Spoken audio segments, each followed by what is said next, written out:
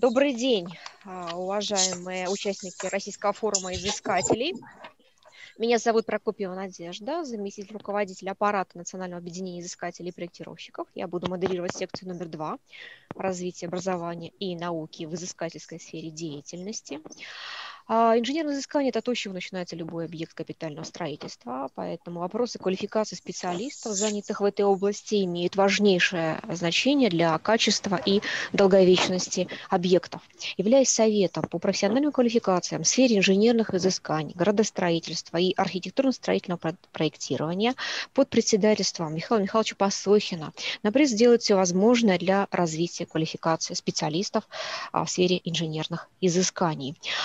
А, в настоящий момент Советом ведется работа по а, актуализации проектов профессиональных стандартов в сфере инженерных изысканий и по разработке профессиональных стандартов об этом мы сегодня тоже поговорим, о роли профессионального стандарта, о вопросах формирования требований рынка труда, квалификации тех специалистов, которые приходят а, значит, к работодателям для того, чтобы вести свою профессиональную деятельность. А, мне бы хотелось э, дать слово первому спикеру а, Зайцевой Ольге Михайловне, которая как раз расскажет про профессиональный стандарт про роль его в национальной системе квалификаций, для того, чтобы а, рынок получал тех специалистов, которые а, действительно нам нужны. А Зайцева Ольга Михайловна, директор Центра развития профессиональной квалификации в НИИ труда, Минтруда России. Ольга Михайловна, прошу вас. Добрый день, уважаемые коллеги. Я благодарю вас за приглашение участвовать в вашем таком масштабном мероприятии. Желаю вам, конечно, всего самого наилучшего и надеюсь, что те решения, которые будут приняты на форуме, а, повлияют на процессы, на развитие тех направлений а, в вашей области профессиональной деятельности. Ну, а сейчас я расскажу несколько слов а, скажу несколько слов о наших профессиональных стандартах. Сейчас попробую присоединить свою презентацию.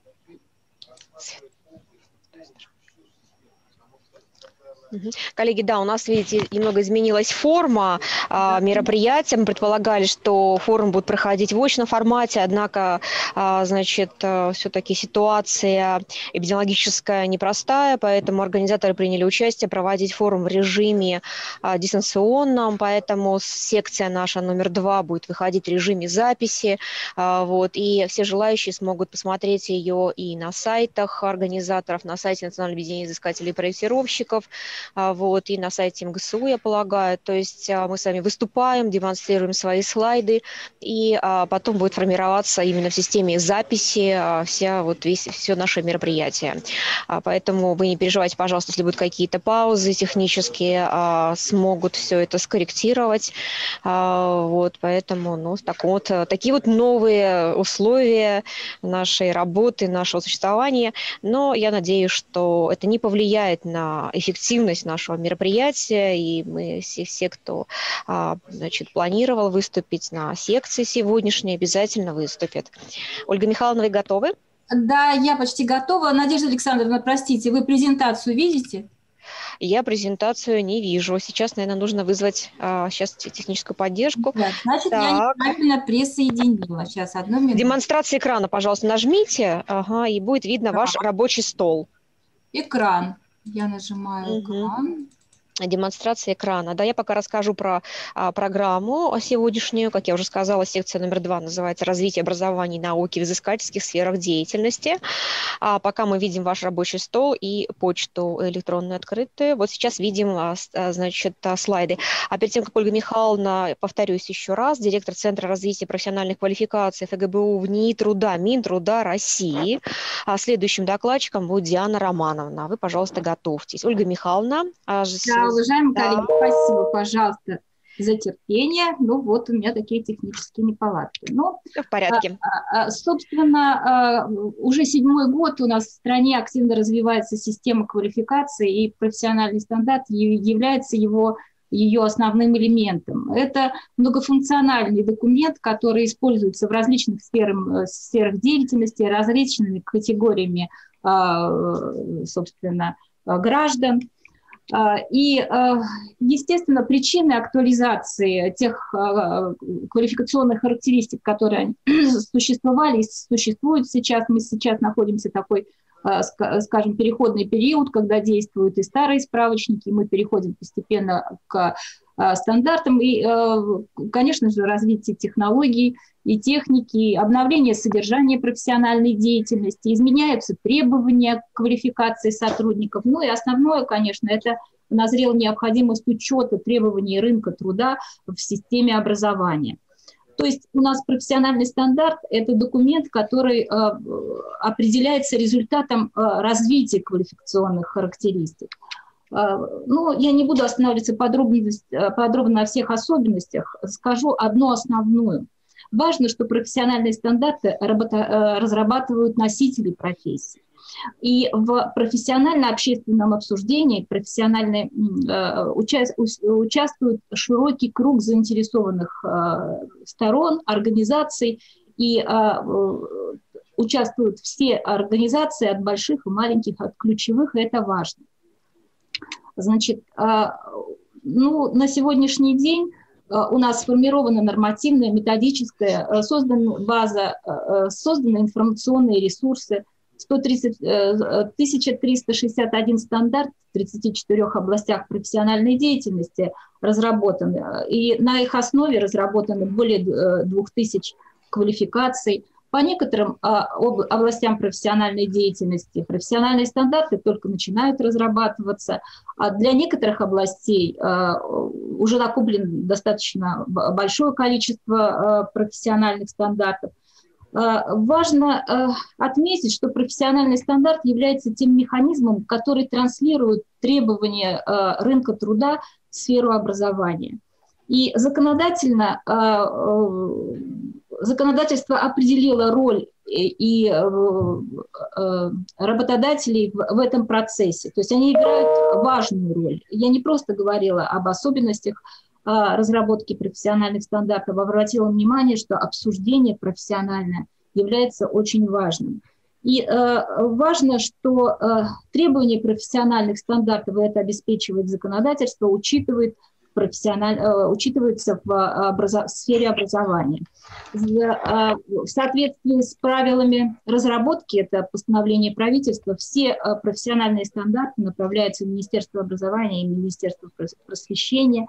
И на основе профессиональных стандартов разрабатываются федеральные государственные образовательные стандарты, программы образовательно-дополнительного образования и обучения – а, и э, можно сказать, что на сегодняшний день э, образовалась система профессиональных стандартов. Как раз э, и она обеспечивает сопряжение с рынка труда и рынка образования. И в этом процессе большую роль играют, конечно же, советы по профессиональным квалификациям.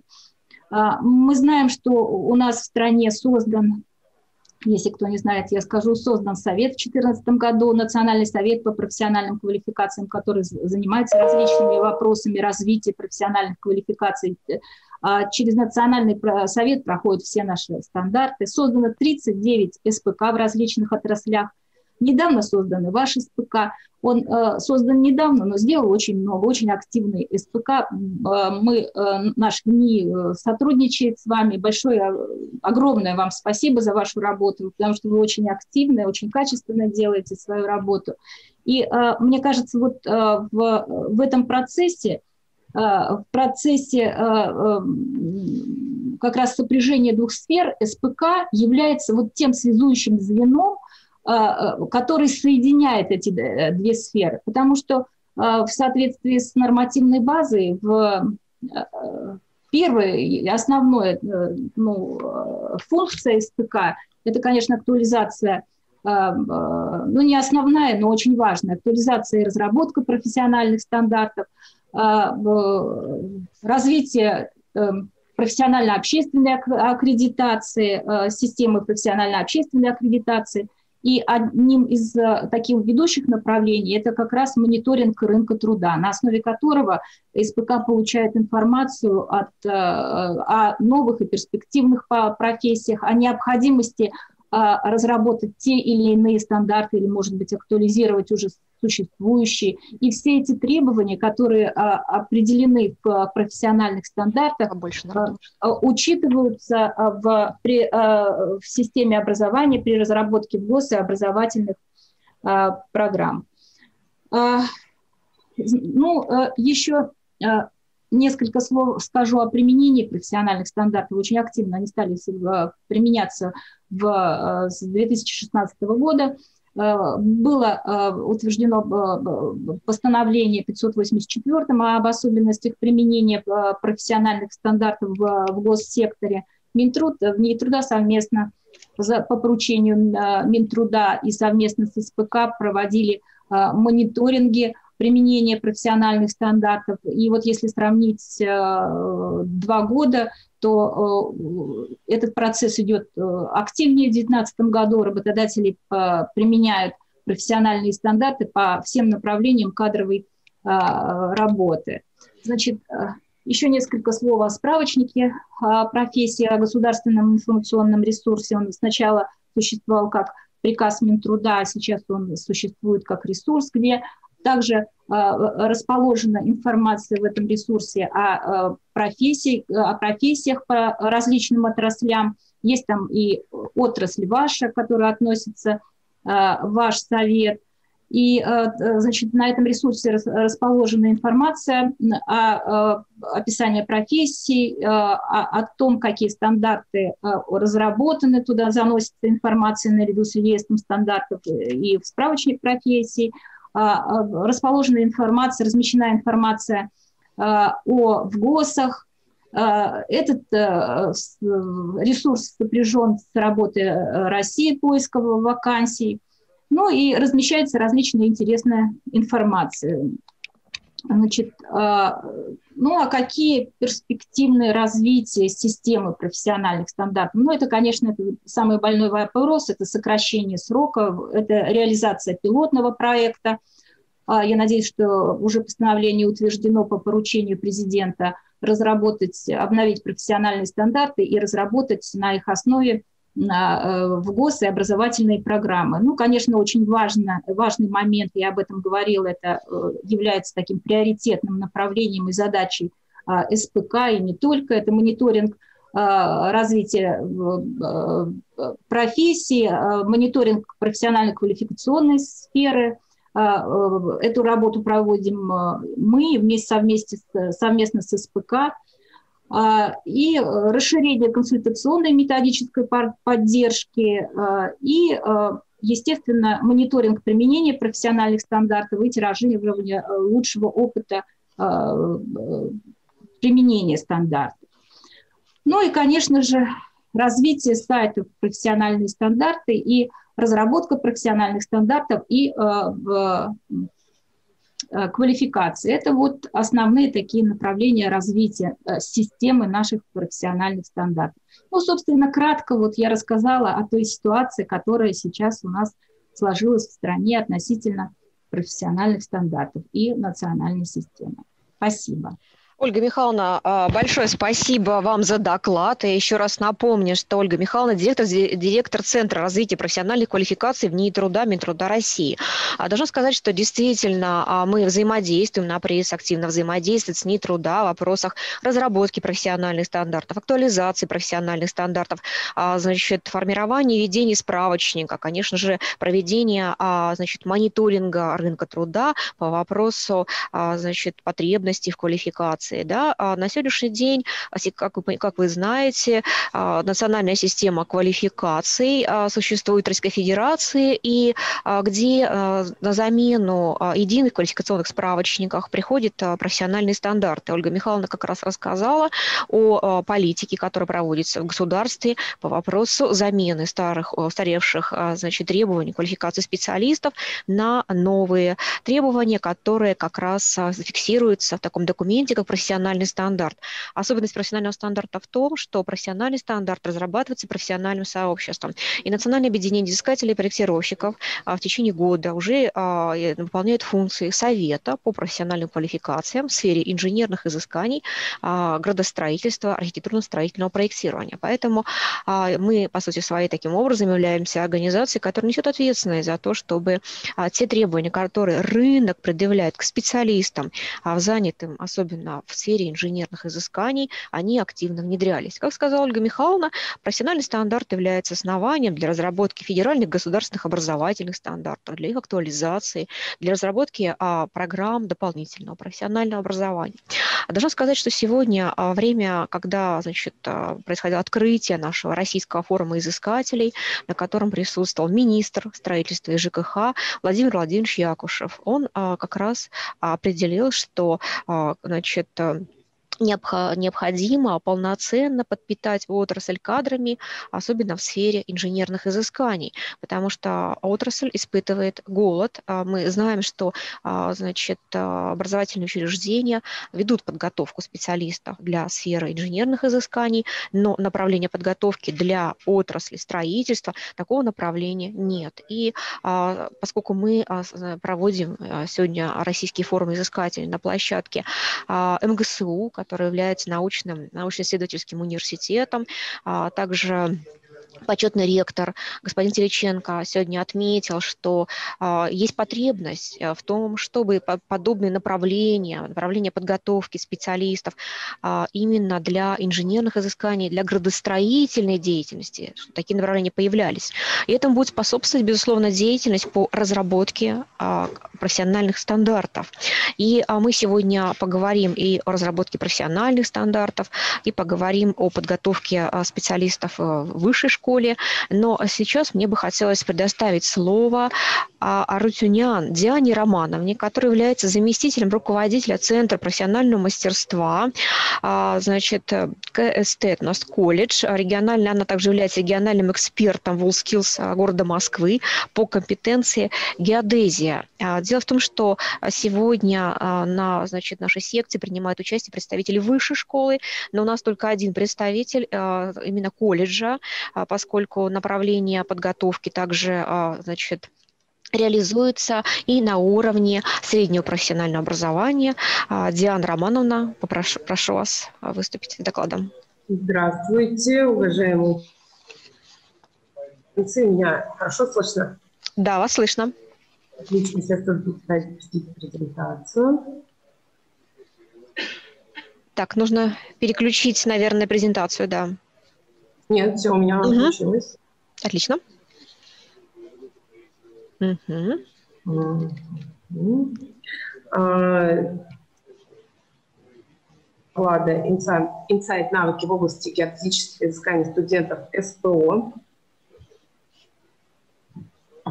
А, давайте для начала значение слова «изыскатель». А словарь Ушакова определяет это понятие как человек, занимающийся изысканием в какой-либо области, а также определяет процесс поиска исследований. Таким образом, а, получается, что изыскатели – это люди, которые занимаются поиском и исследованием в самых разных сферах человеческой жизни. А теперь давайте займемся изысканиями.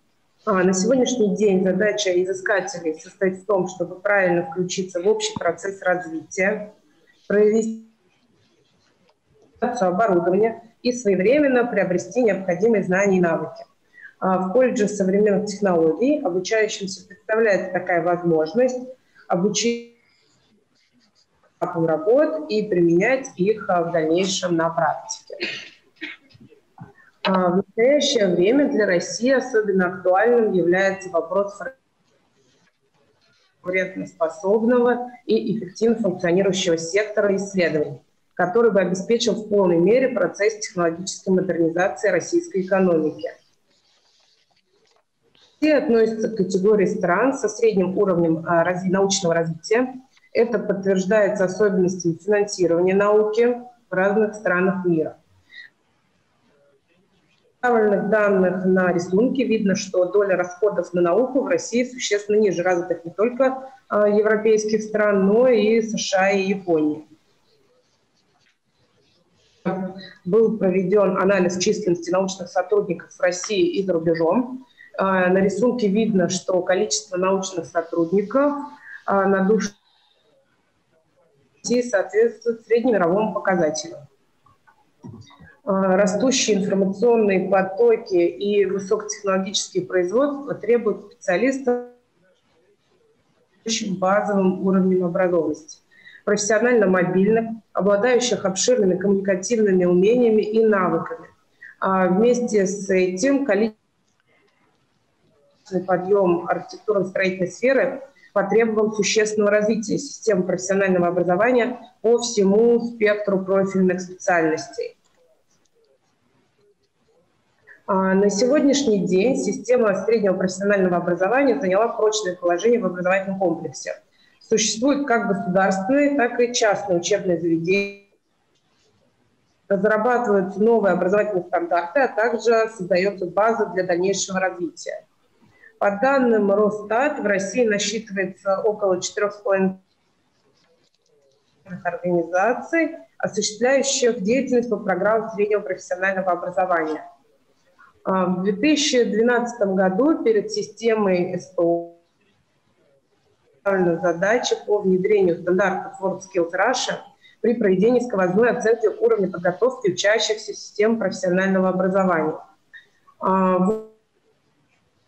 это международное некоммерческое движение, целью которого является повышение престижа рабочих профессий и развитие профессионального образования – под эгидой WorldSkills проводятся региональные, национальные и мировые чемпионаты. А в 2017 году около 14 колледжей и техникум впервые сдали демонстрационный экзамен по стандартам WorldSkills Russia. А, по сути, выпускники прошли через единственную оценку практических навыков.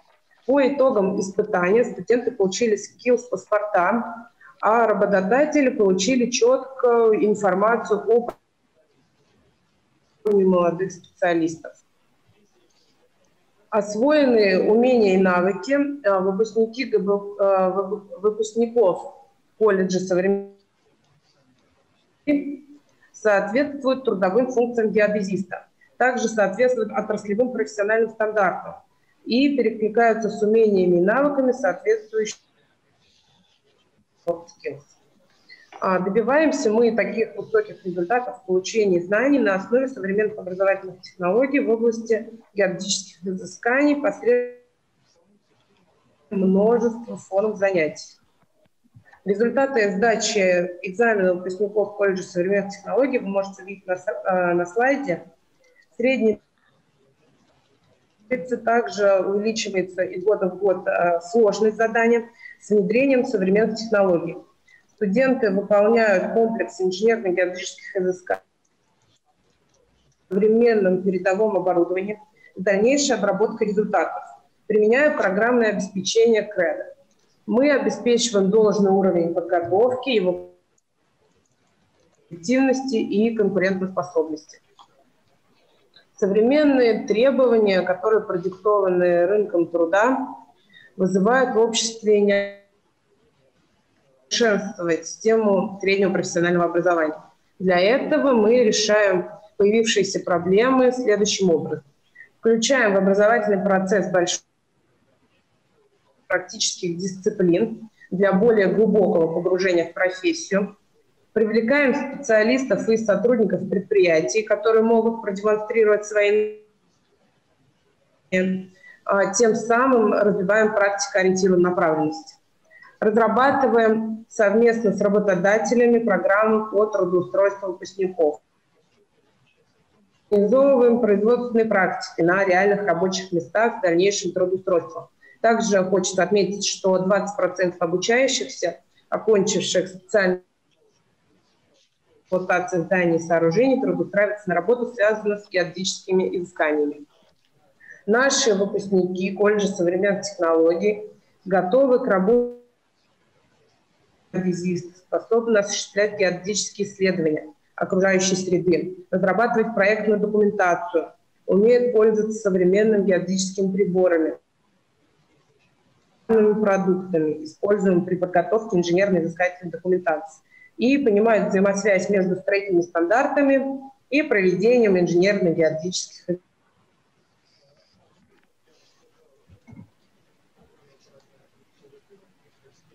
На фотографиях вы можете увидеть, как наши студенты применяют на свои знания.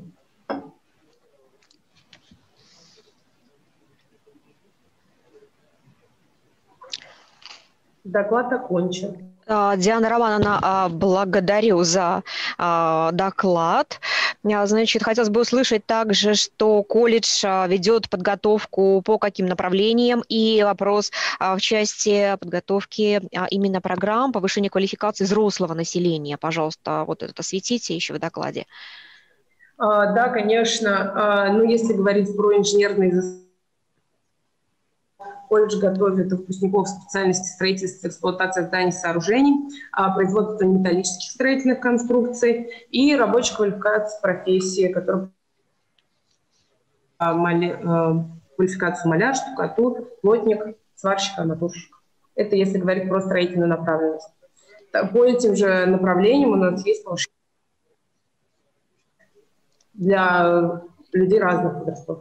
А в области геодезии? В области геодезии у нас есть программа дополнительного образования, которая так и называется «Геодезия», где они могут а, на практике применить свои знания на современном передовом оборудовании. Это именно программа повышения квалификации для взрослого населения? Да, да. А какое оборудование и в части цифры а, обучаете ли вы а, именно взрослое население? Любую, э, любую категорию граждан. А если говорить про оборудование, то у нас э, тесиометры и инженерные, и роботизированные. Программное обеспечение КРЭД у нас могут э, люди обучаться. Все геодезическое оборудование на базе нашего колледжа имеется. Ну, это имеет особую ценность, потому что все-таки а, мы понимаем, что а, есть потребность, а, значит, в специалистах, да, то есть а, именно, а, которые будут а, владеть а, навыками, а, значит, пользования именно цифровыми технологиями, технологиями информационного моделирования, а, вот, и очень важно, чтобы именно в а, учебных заведениях, а, особенно на уровне СПО, среднего профессионального образования, взрослые люди могли повысить свою квалификацию, потому что у нас технический процесс, а, прогресс, как бы, да, а, совершенствует требования.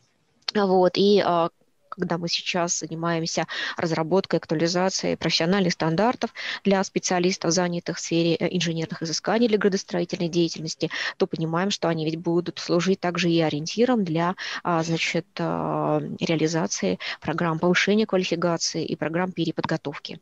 А, поэтому хотелось бы обратить внимание на то, что не только высшие учебные заведения реализуют программы ДПО, а также и колледжи, значит, также также предлагают а, соответствующие услуги образовательные для взрослого населения. А, большое спасибо, Диана Романовна. И мне бы хотелось передать слово а, Мусихину Игорю Александровичу, проректору по международной и инновационной деятельности одного из старейших сибирских вузов, который ведет подготовку специалистов в сфере инженерных изысканий уже более 80, если я не ошибаюсь, лет. Это Сибирский государственный государственный университет геосистем и технологий. Игорь Александрович, вы нас слышите? Добрый день, коллеги, я вас слышу. Здравствуйте. Видно ли и слышно ли меня? А, да, Игорь Александрович, видно слайды. А, мы вас видим. Пожалуйста, слушаем ваш доклад. А, уважаемые коллеги, Александр Петрович должен был выступать докладчиком, ректор нашего университета, но, к сожалению, его пригласил к себе губернатор, и он вынужден был уехать. В нашей презентации она несколько отличается от того, что я слышал от предыдущих двух докладчиков. Мы постарались сделать небольшой анализ того, на что обращают внимание наши коллеги за рубежом во многих странах при разработке профессиональных стандартов, и как это соотносится с тем, что в последнее время мы можем наблюдать в тех профессиональных стандартах, которые появились в России. Я буду говорить о двух специальностях. Это геодезия и э, картография геоматика. Э, я бы хотел акцентрироваться в своем выступлении на трех моментах. Момент номер один. Что хотелось бы показать вам, что значимо для наших зарубежных коллег, когда они говорят о разработке профессиональных стандартов. Момент номер два. Чем их профессиональные стандарты принципиально отличаются от наших. И момент три. Что, возможно, следует принять во внимание при разработке или обновлении наших профессиональных стандартов. Итак, на этом слайде представлена информация того, что считают наши коллеги за рубежом главным, самым значимым в профессиональной сфере деятельности такого специалиста, как геодезист. Помимо традиционных, понятно, деятельностных, профессиональных а, знаний, навыков и компетенций, я бы попросил обратить ваше внимание, что очень много уделяется, извините за тавтологию, внимания наших коллег к межличностному общению, к коммуникации, к способности а, специалистов к самообучению, лидерству, а также а, способности и умения выдвигать идеи. Это первое. Второе. Давайте посмотрим на то, а, из каких блоков состоит их, состоят их профессиональные стандарты. Ну вот здесь, мы говорим о геодезии, то эти профессиональные стандарты, вы видите, приняты в Соединенных Штатах Америки, Латинской Америке, Канаде странах Карибского бассейна, Австралии, Новой Зеландии, Европе, Центральной, Северной Африке, Китае, а также во многих азиатских странах. Их стандарты, как правило, состоят из трех частей. Это кажется крайне логичным. Три части. Первая часть – базовые компетенции, описываются, без чего невозможно, невозможно осуществлять профессиональную деятельность. Далее основные компетенции, то, с чем наши специалисты сталкиваются при выходе на работу. И третий компонент – это так называемые дополнительные компетенции, то есть специализация на каждом производстве.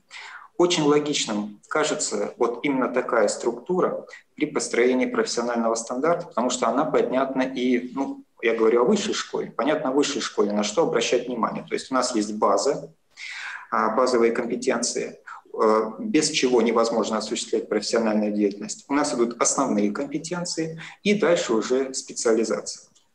Это как осуществляется за рубежом. Теперь как осуществляется у нас. Мы также просмотрели профессиональный стандарт по геодезии.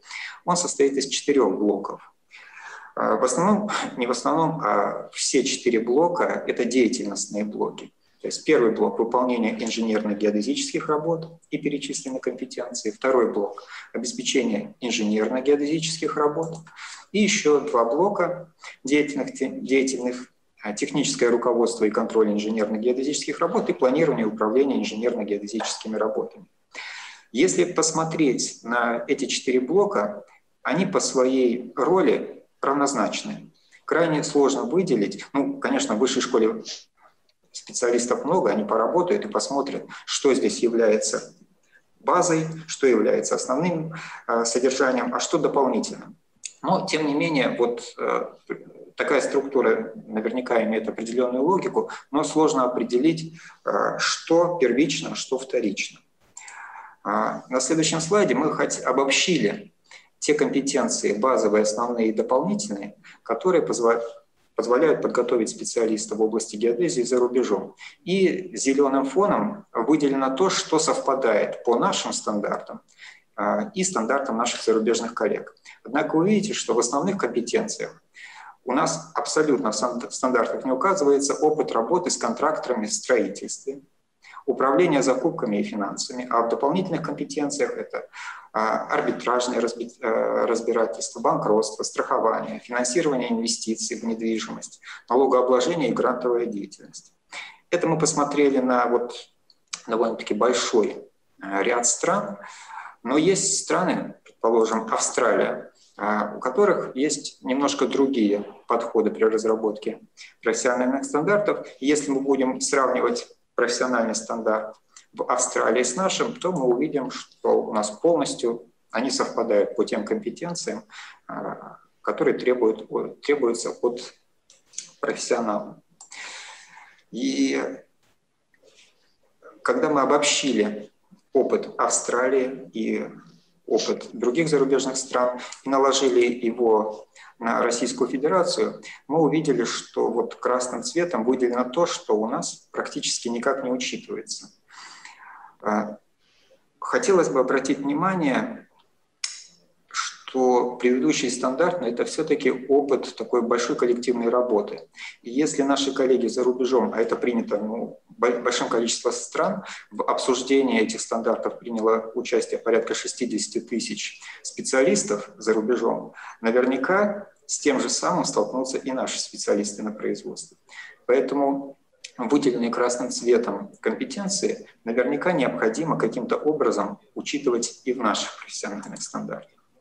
Что касается подготовки геодезистов в Российской Федерации, здесь те же самые деятельностные компетенции, то есть проектирование, производство, управление.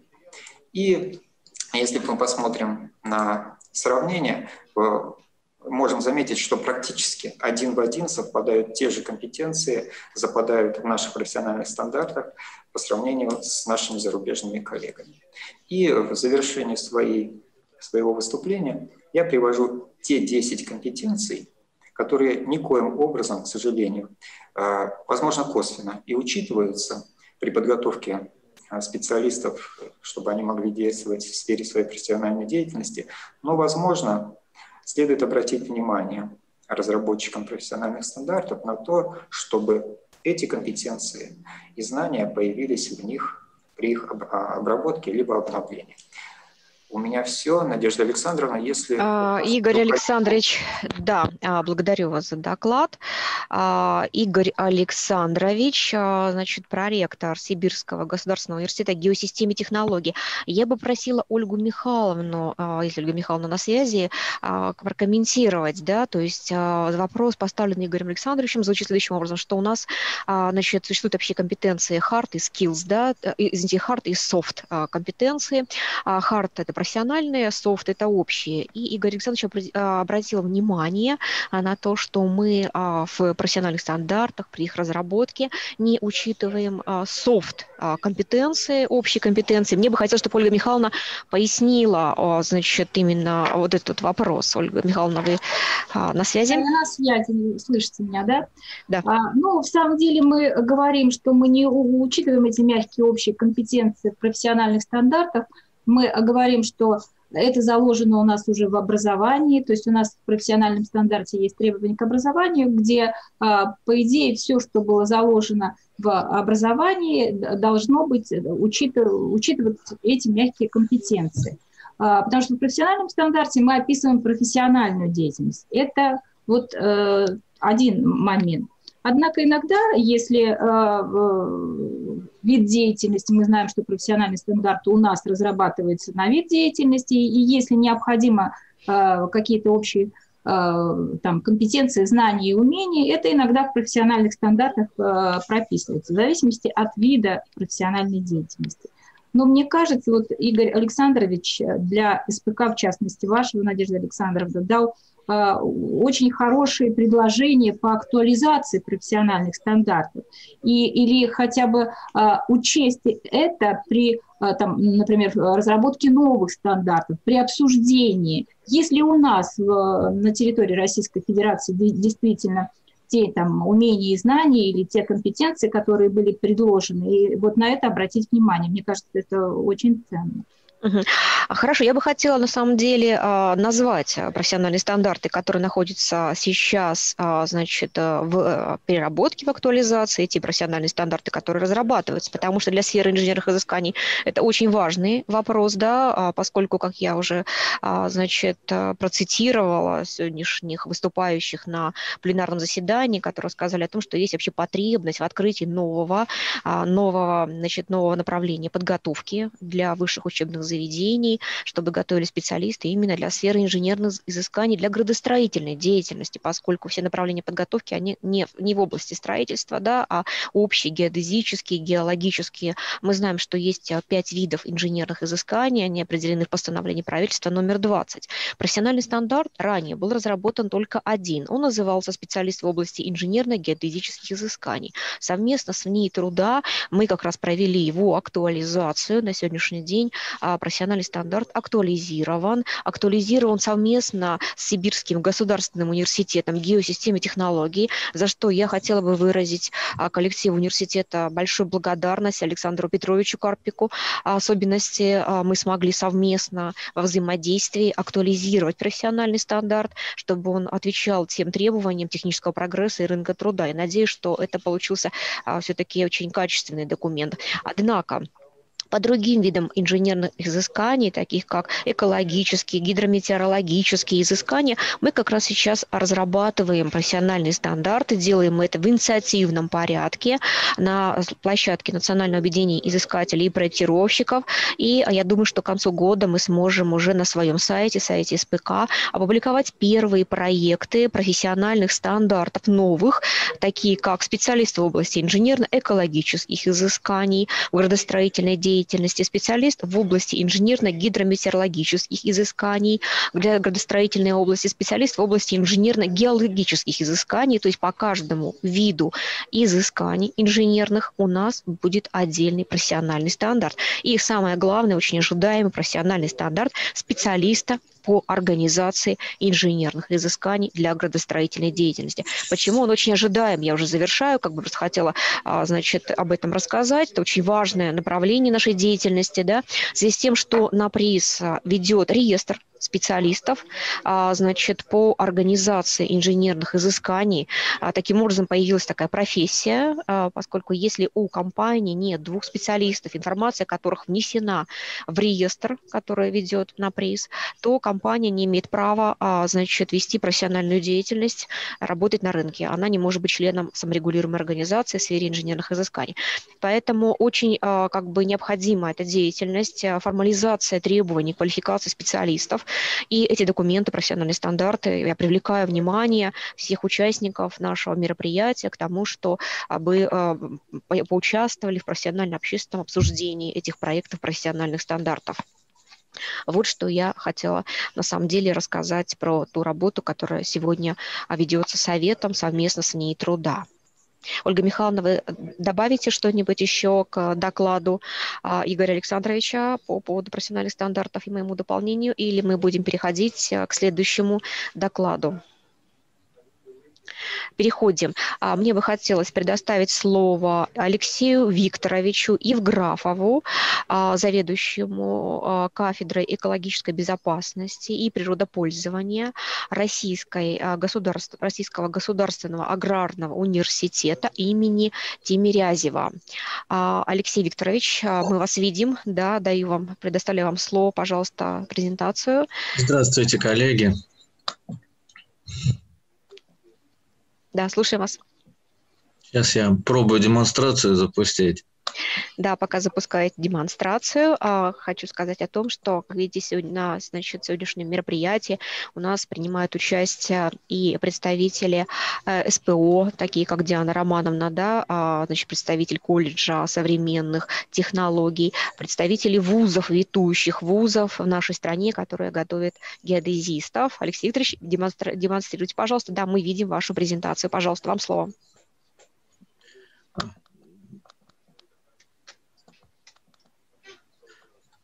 Приветствую вас, коллеги, еще раз. А, я очень рад э, участию в сегодняшнем мероприятии.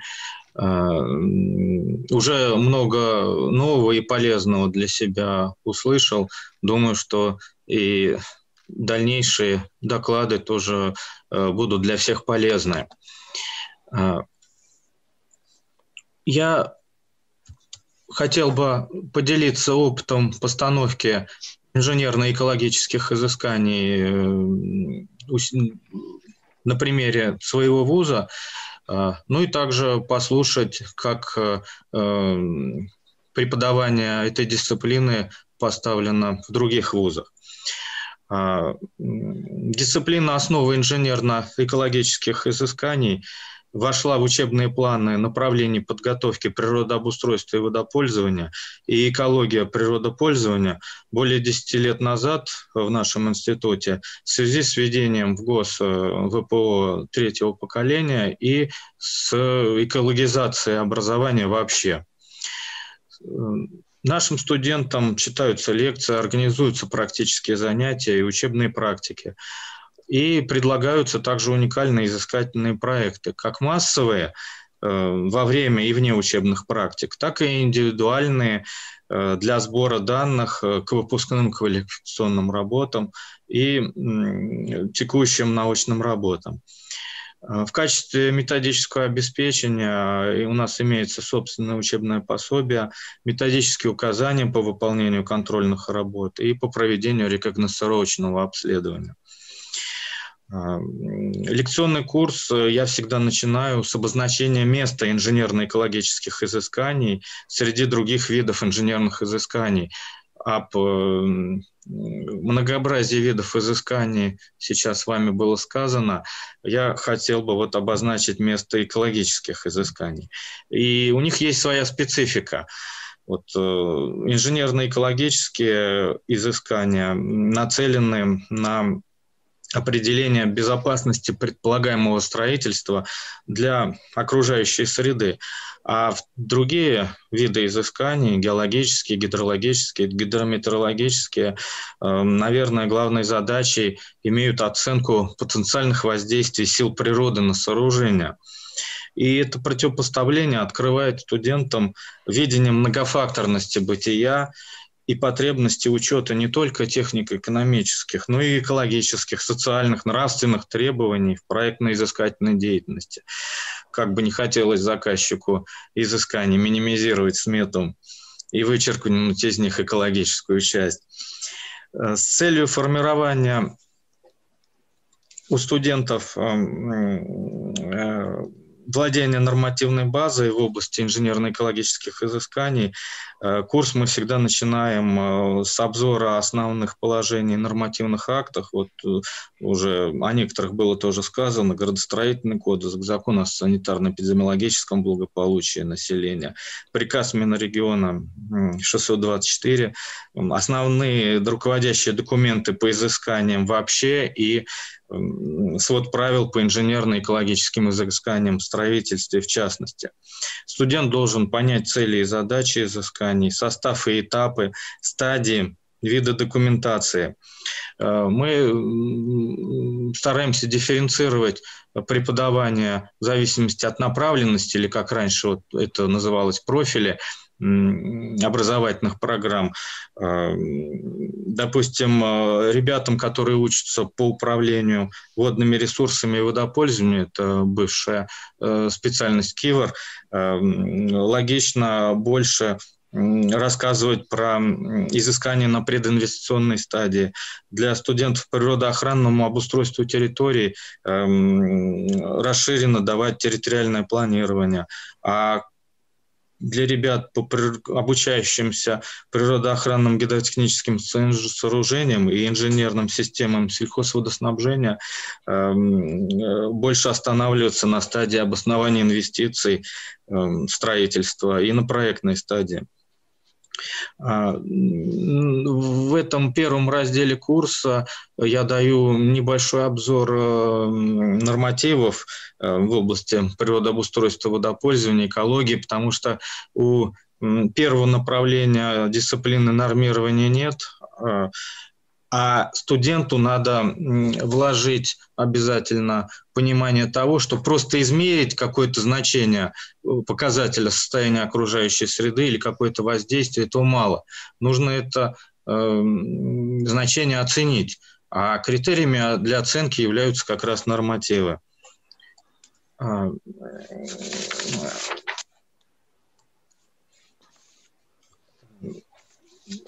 Мы проводим ну, дифференциацию э, преподавания по профилям еще и вот во втором разделе курса, когда дело доходит до рассмотрения методик полевых и лабораторных исследований.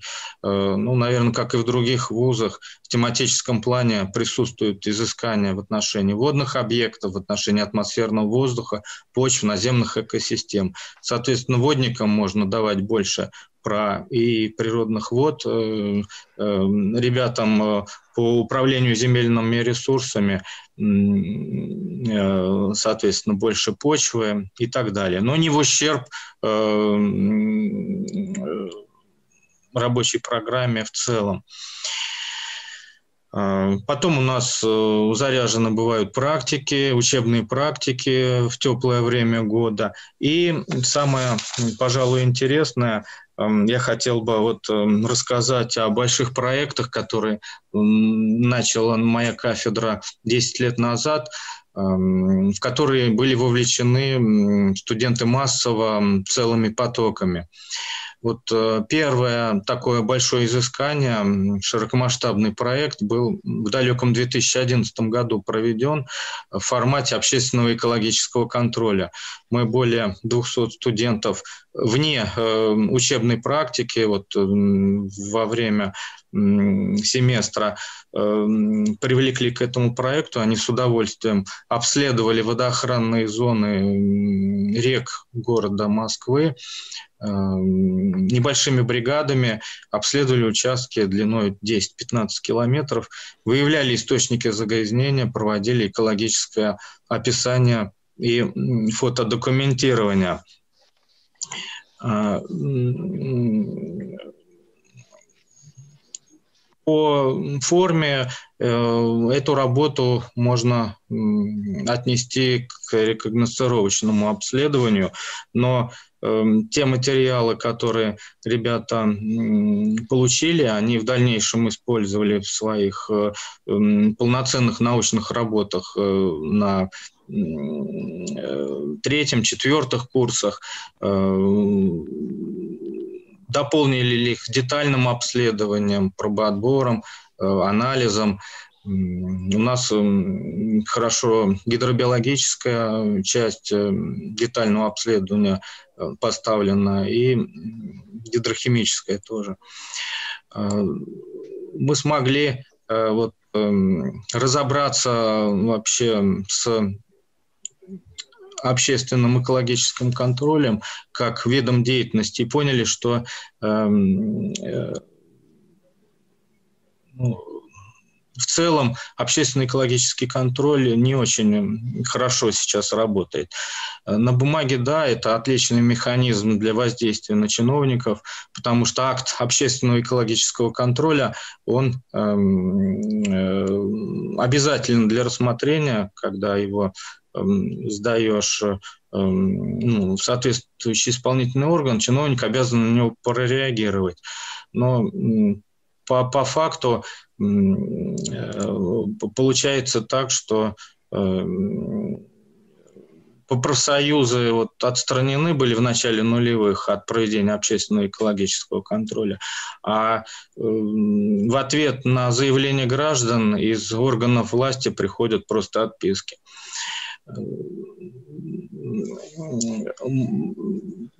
В своем проекте мы эм, обследовали 100-метровую водоохранную зону, ребята фотографировали потенциальные источники загрязнения, оценивали э, в первом приближении экологический вред, и мы разработали для этой рекогносцировки такую вот критериальную шкалу. Эм, зелеными точками безопасные объекты помечали, белыми те, э, к которым не было доступа, невозможно было через забор перебраться, или, допустим, сток э, в целом благополучный в реку идет, без запаха, без цвета, неидентифицированные объекты белыми помечали. Потенциально опасными считали гаражи, автомойки, свалки мусора, которых не должно быть возле реки. А красными опасными объектами обозначали те, которые ну, реально эм, опасны, даже безо всяких приборов, невооруженным глазом можно увидеть и там желтые пенистые стоки, которые вливаются в реку, и загазованность, и переуплотненные газоны, на которых вот раньше, 10 лет назад, э, зачастую парковались машины и разворачивались грузовики. Очень много источников неблагополучия обнаружили вот, в водоохранных зонах московских рек. Э, мы учили ребят э, правильно оформлять отчеты по изысканиям не, не допускать в них Эм, каких-то субъективных суждений, а уметь описывать то, что они видят словами, комментировать фотографии без каких-то э, вот, натяжек. Ну, то есть э, специалист э, по природообустройству, водопользованию, ну и вообще специалист, инженер должен уметь вот, давать словесное описание фотодокументу видеозаписи. Вот образец приложения к отчету на следующем слайде. Мы эту работу продолжили в последующие годы, но упор сделали уже не на тренировочные моменты и не на отработку общественного экологического контроля, а на образовательные моменты и воспитательные. У нас подключились к этой работе не только студенты-второкурсники, но и э, школьники, э, ребята из колледжей. Мы повторили эту работу на следующий год и э, провели несколько семинаров – Э, с, с широким кругом, кругом участников. Э, что интересно, в Москве даже по прошествии всего одного года очень многое изменяется на водоохранных зонах. Где была стройка, она уже закончена, объект стал из потенциального опасного в безопасный превратился, если жилой дом какой-нибудь построили. Или наоборот, э, год назад была зеленая зона, а в этом году там все разрыто и э, видны признаки экологического неблагополучия. Э, эта работа оказалась полезной и для преподавателей, и для студентов.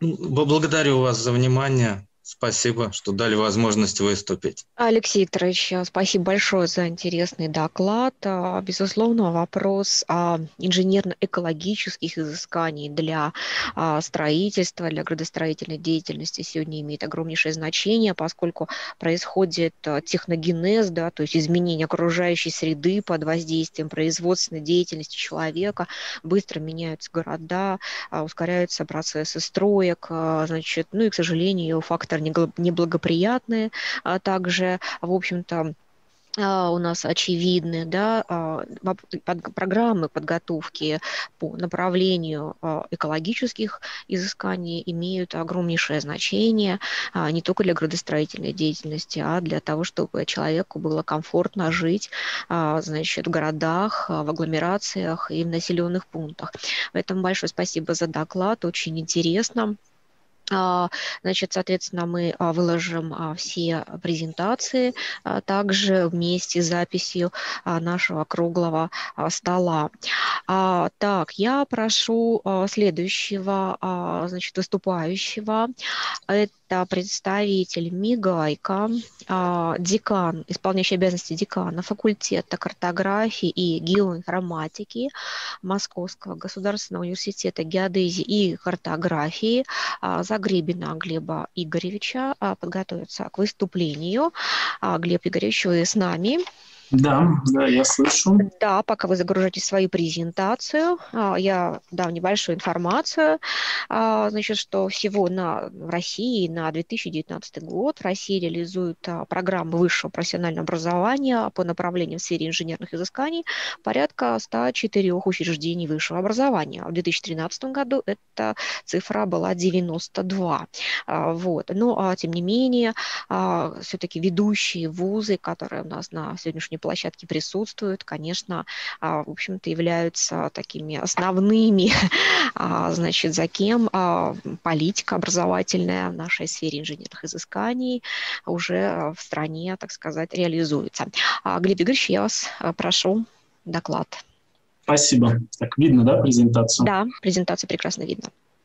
Да, в Московском государственном университете геодезии и картографии э, совместно с э, Роскартографией, с БУГИТом ведутся э, работы над созданием четырех э, профстандартов. Да, это специалист в области геодезии, специалист в области аэрофотогеодезии, специалист в области прикладной геодезии.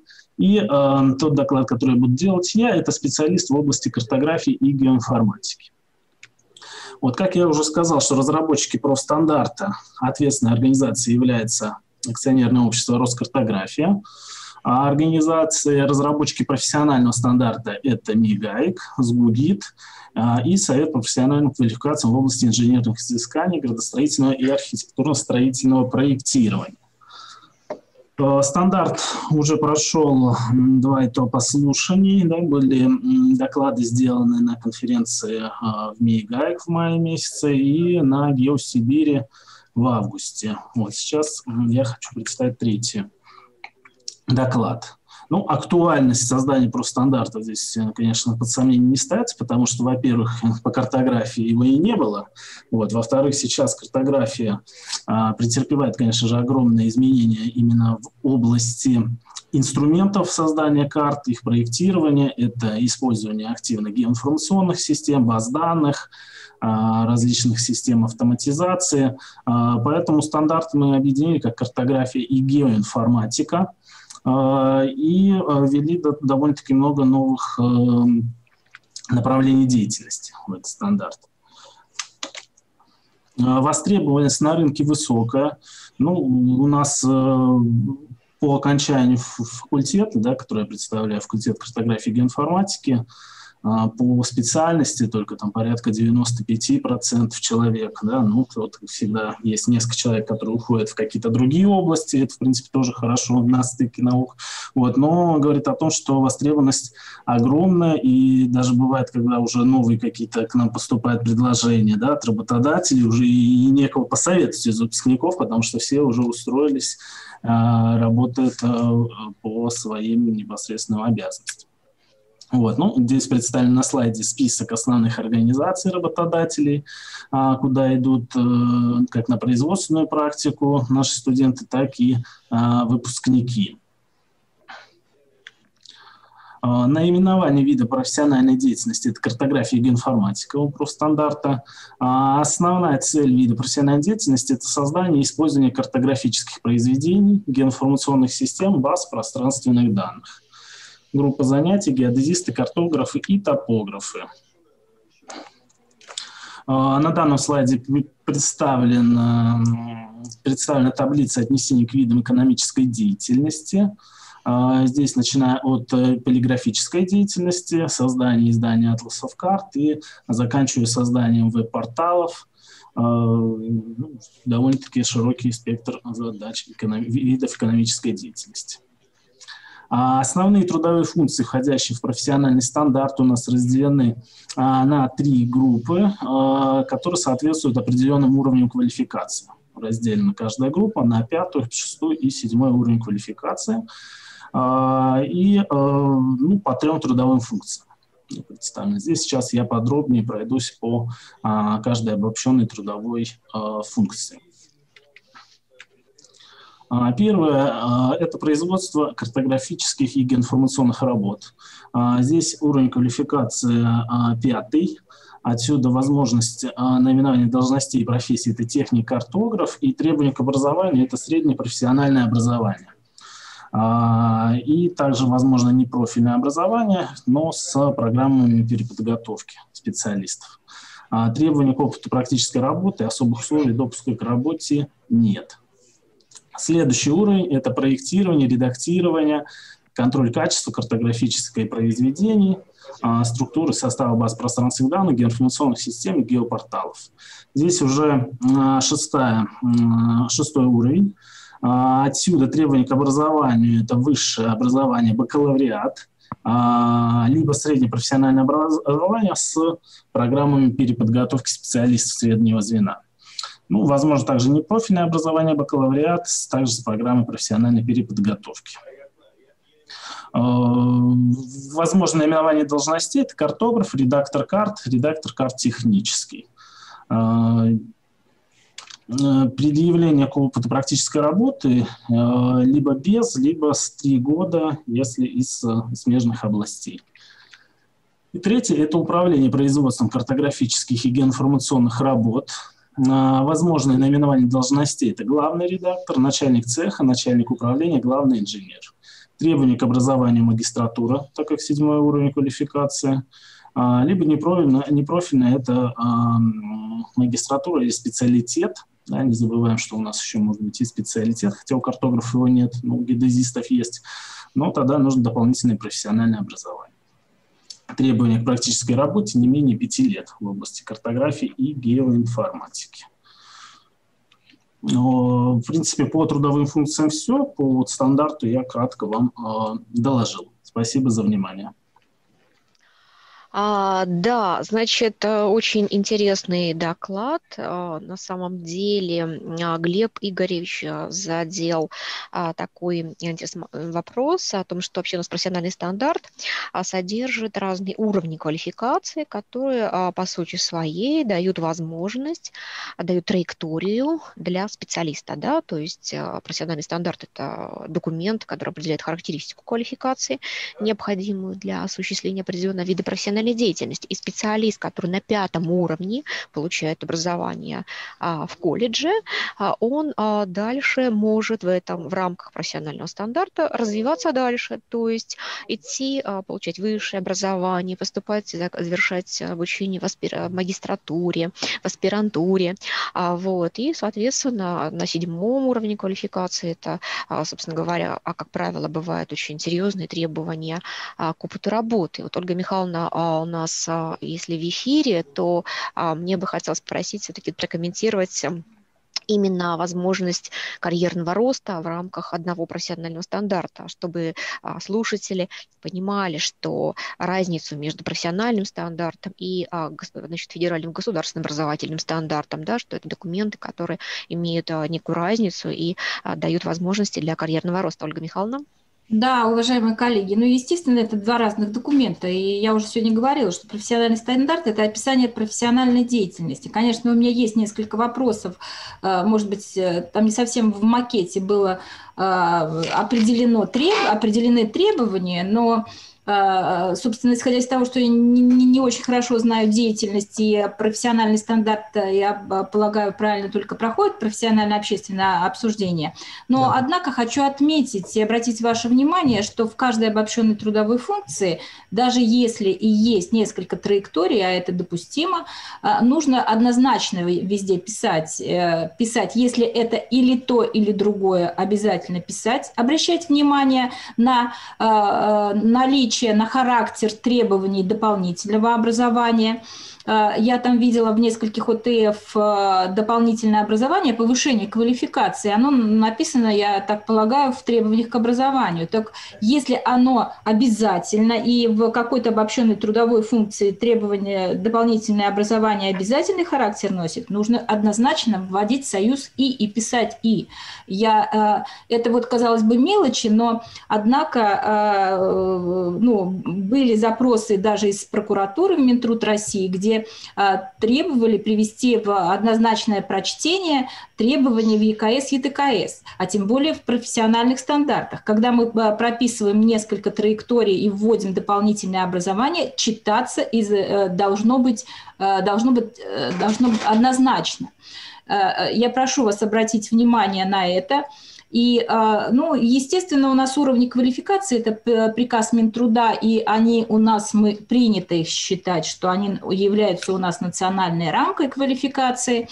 А, ну, нужно обращать внимание, конечно, описание дескрипторов, а, соизмерять с описанием обобщенной трудовой э, функции, сопоставлять. И, естественно, у вас есть немного, но у вас уже стандарты есть, разработаны, и чтобы правильно определить уровень квалификации, конечно, обращайте внимание и на те стандарты, которые уже утверждены.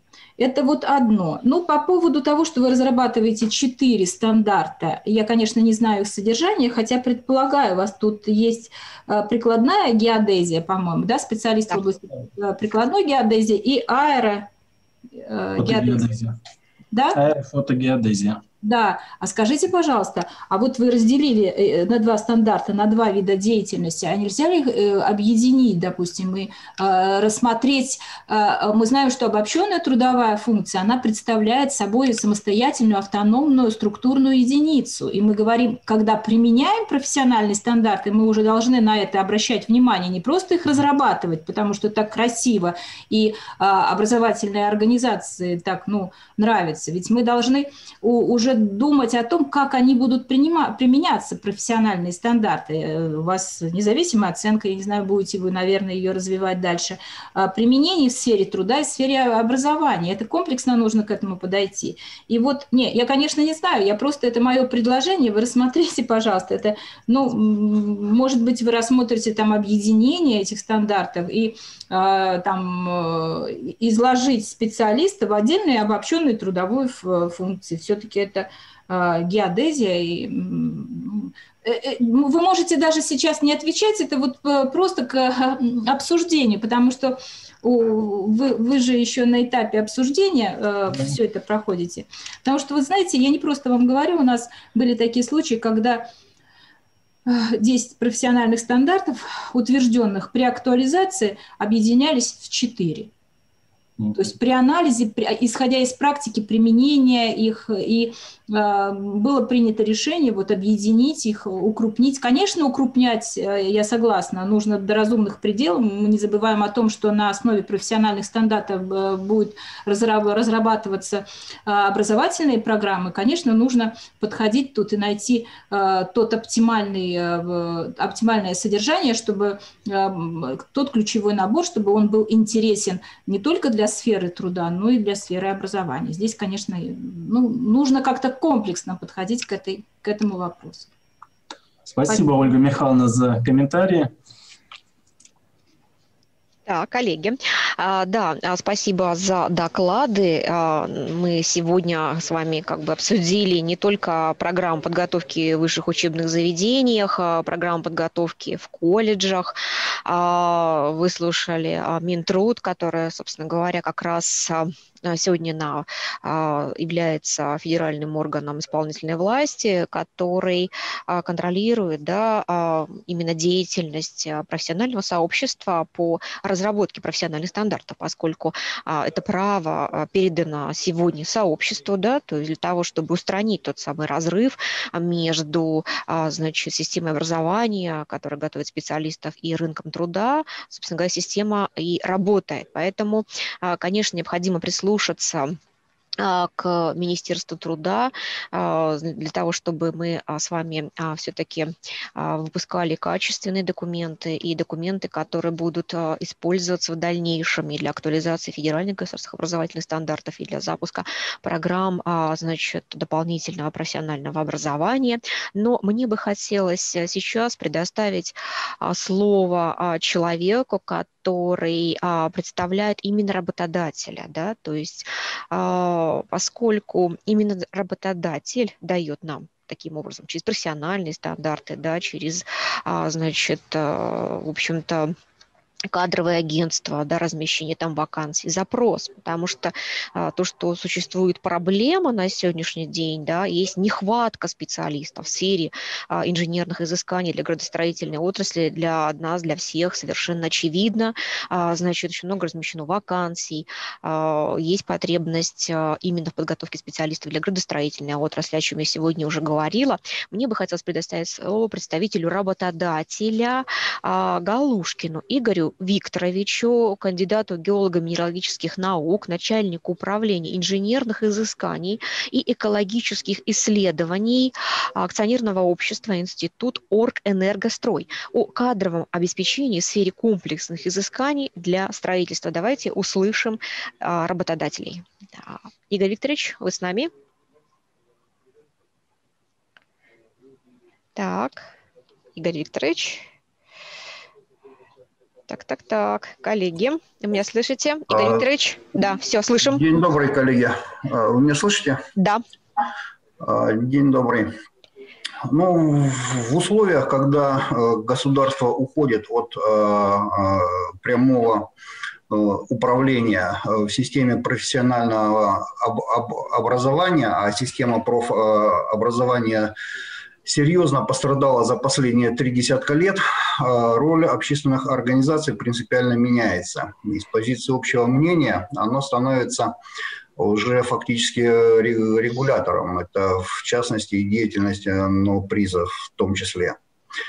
А, ну, это как э, вступление к тому, что я хотел, хотел бы сказать. Институт Оргэнергострой – предприятие полного цикла изыскания, проектирования и строительства. 16 э, филиалов по России и за рубежом, более 3000 специалистов – Основная сфера деятельности – это атомная энергетика. Э, специалисты предприятия провели комплексные изыскания с получением э, лицензий э, на более чем 40 объектах использования атомной энергии в России и за рубежом. Компания, как и большинство компаний в России, испытывает недостаток кадров. Несмотря на наши тесные связи и с фузами. Э, э, мы пытаемся подпитать э, кадровый состав и практически со всей России, не только по, по, по Москве. Значит, более 10 лет в профессиональном атомном сообществе обсуждается вопрос о необходимости отдельной специальности Э, комплексные изыскания. Получается, что на рынке э, услуг э, такая услуга есть, а профессии такой нет. А, в настоящее э, время эту нишу занимают специалисты всех направлений. И геологи, и геодезисты, и экологи. Это а, просто люди э, с подготовкой выше среднего, готовые э, развиваться, готовые нести ответственность, которые обладают некими личностными качествами. Но это, это в принципе не, не, неправильно, потому что э, неся от, ответственность и за геологию, и за экологию, и за э, геодезию, э, они э, не обладают изначально э, полным э, об, образованием, э, позволяющим в полном объеме э, применять э, э, применять эти знания. А, я бы сказал, что дополнительные курсы, э, которые проходят э, и наши сотрудники в том числе, конечно, э, расширяют кругозор, но глубокого глубоких знаний они все равно э, не дают. Это не, не должны быть какие-то временные курсы, это должно быть капитальное базовое образование. А, потому что изыскание – это весьма значимый э, вид э, деятельности в сфере строительства. А, я бы привел вот как э, правильный пример подход э, Международного агентства по атомной энергии, которое рассматривает изыскание как первый рубеж э, обеспечения безопасности атомного объекта. В принципе, можно э, так сказать о любом объекте, потому что на, на большинстве объектов гражданского строительства люди или живут, или э, работают, и, и вообще это потенциально опасные объекты.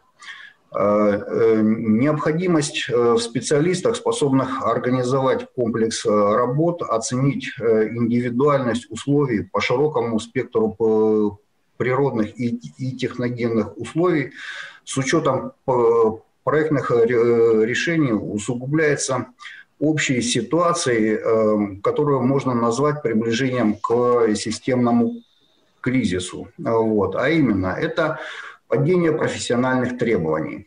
Это разрыв ответственности от замысла до строительства объектов. То есть ну, не будет открытием сказать, что изыскатель Э, заинтересован в прохождении результатов главгосэкспертизы, но ни проектировщик, ни главгосэкспертиза э, никак не заинтересованы в э, реализации объекта, то есть в конечном строительстве. Главным требованием к объектам сегодня становится экономическая эффективность и пытаясь ее достичь на всех объектах, жертвуют в первую очередь э, комплексными э, изысканиями и, собственно говоря, и, и безопасностью объекта также.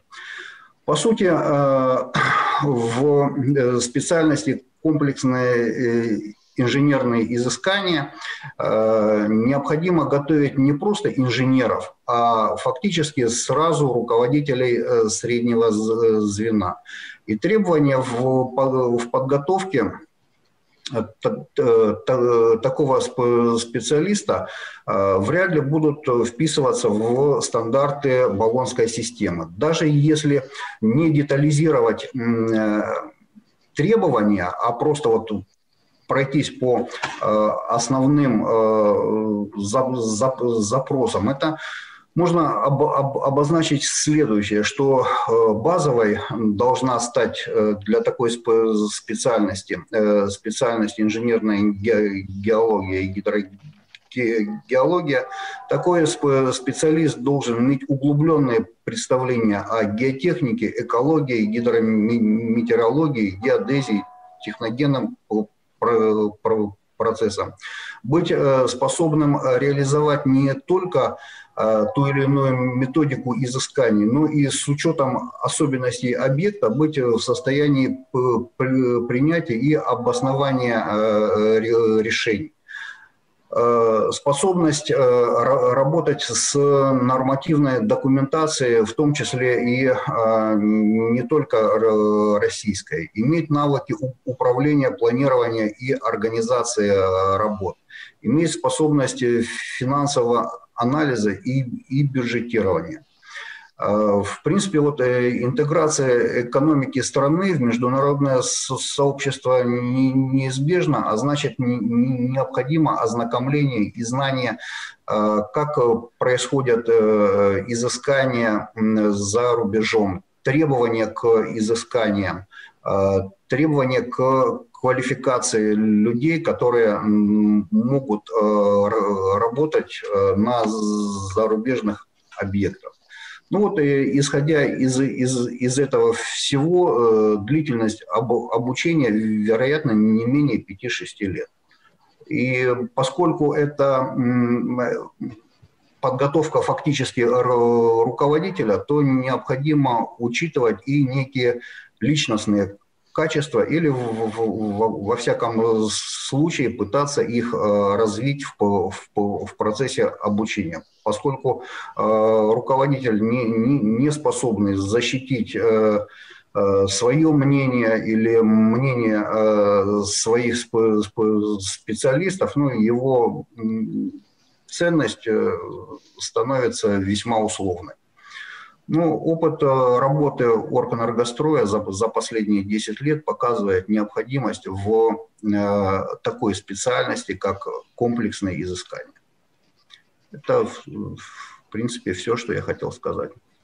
А, спасибо огромное, Игорь Викторович. А, вы, по сути, вот в последнем завершающем выступлении а, нашей секции как раз и сформулировали тот посыл, который был сегодня на пленарном заседании, в общем-то, да, выступающими, высокопоставленными, да, выступающими руководителем, в общем-то, значит, отрасли, министром строительства озвучен и почетным ректором МГСУ также, да, что необходимо все-таки а, выступить с инициативой, а, чтобы инициатива это исходила от сообщества, о том, чтобы было открыто новое направление подготовки направление подготовки, ну, по сути, вы, значит, значит, его назвали, да, это комплексные изыскания, видимо, для а, градостроительной деятельности. Мне бы хотелось а, всех участников э, сегодня а, спросить, да, кто сегодня выступал с докладами,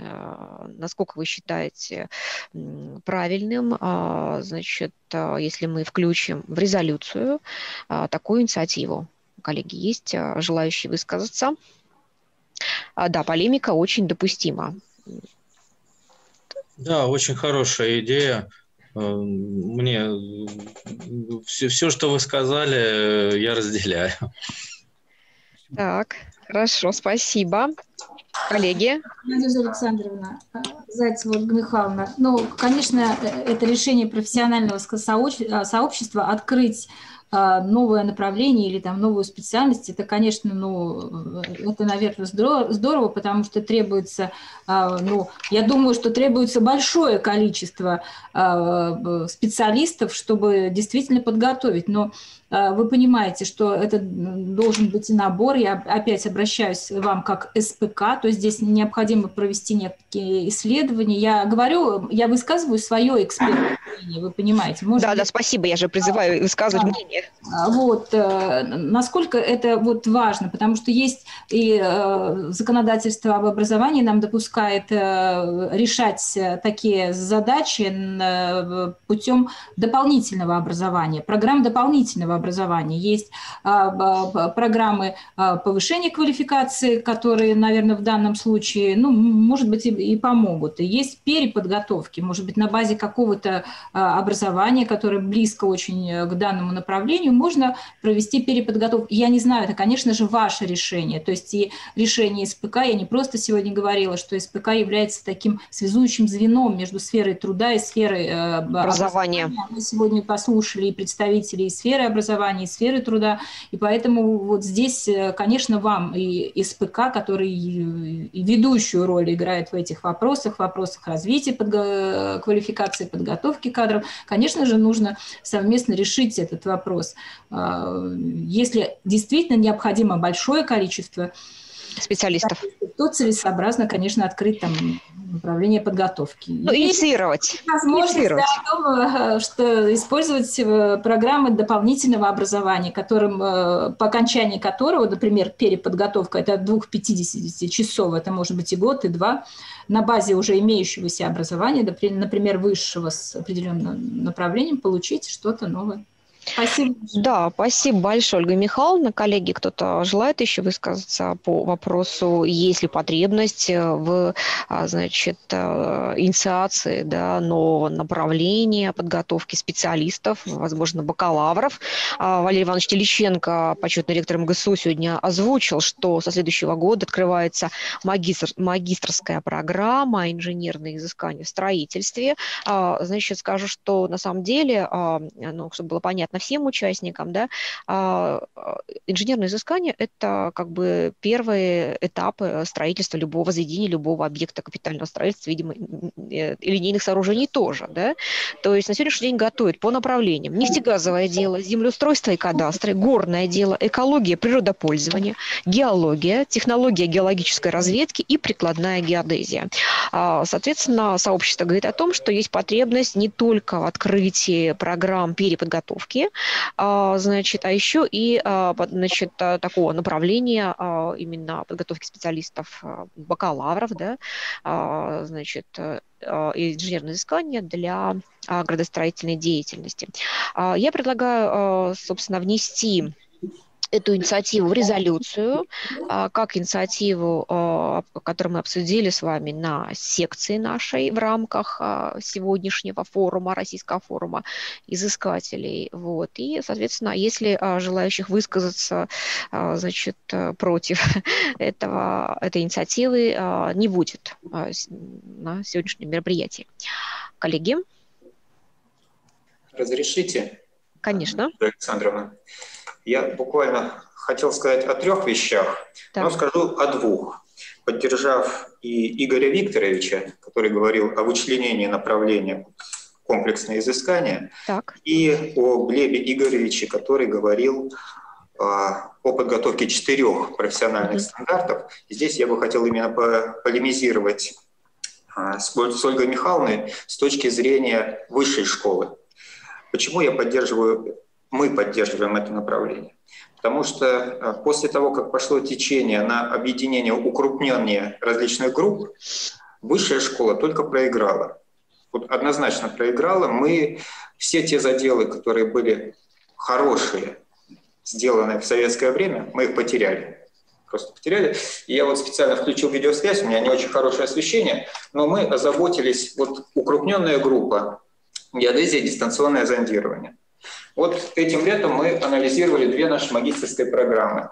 То есть это одна и та же укрупненная группа.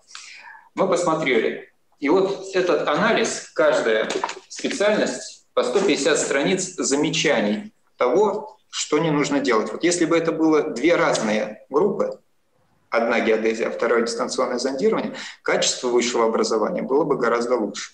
Потому что столько, а, у меня, извините за слово, напихано в госкомпетенций, что пытаются наши коллеги сейчас мудрить и думать и приписывать, чего только можно в образовательной программе.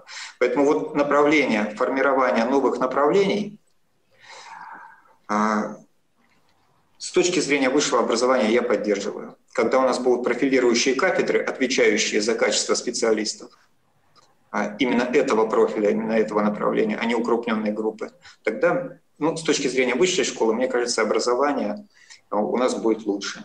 Спасибо. А, Игорь Александрович. Да.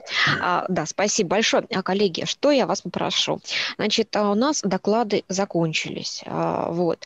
Мне бы хотелось, чтобы вы на почту, я сейчас ее в чате напишу, на мою почту, написали буквально, значит, пару слов, да, либо по свой, про свой доклад, либо о предложении в резолюцию, потому что мне, может быть, сложно будет сформулировать, как бы, да, языком образовательным, значит, предложение решение вот именно о том, о чем мы с вами договорились, да, что необходимо сформировать новое направление а, для того, чтобы готовить специалистов а, по комплексным изысканиям для градостроительной деятельности. А, для того, чтобы я, значит, могла эти предложения направить организаторам для того, чтобы их зафиксировали в резолюции, поскольку министр сегодня Владимир Владимирович Якушев нам пообещал, что он внимательно изучит резолюцию нашего форума и окажет всяческое содействие, которое может оказать создать а, министерство для того, чтобы те задачи и планы, которые мы, а, значит, с вами решим, они действительно были реализованы. А вот. Также для того, чтобы я могла составить пост-релиз нашего мероприятия, мне кажется, мы сегодня с вами очень эффективно поработали, несмотря на то, что вот такой вот немножко необычный формат, формат дистанционный, тем не менее, видите, смогли и разные города, да, и, в общем-то, поделились и опытом и проблематикой. А, вот. А, мне кажется, что получилось замечательное мероприятие. Оно будет в записи, как я уже сказала. Вот, поэтому, а, если у нас больше нет тем для обсуждения, как бы, да, э, мы ничего не хотим, значит, еще по полемику устроить по каким-то вопросам, которые сегодня обсуждались, то, э, соответственно, прошу вас, значит, дать мне обратную связь. А я вот сейчас в чате, значит, запускаю свою почту, да, и очень буду вам признательна, если вы поможете мне предложение в резолюцию сформулировать. Коллеги. Ага. Хорошо, попробуем. Да? А, большое спасибо. А, значит, э, я вас очень благодарю и от э, приза, и от, э, значит, МГСУ, на площадке которого мы сегодня смогли обсудить, а, значит, вопросы подготовки специалистов для инженерных изысканий в сфере строительства.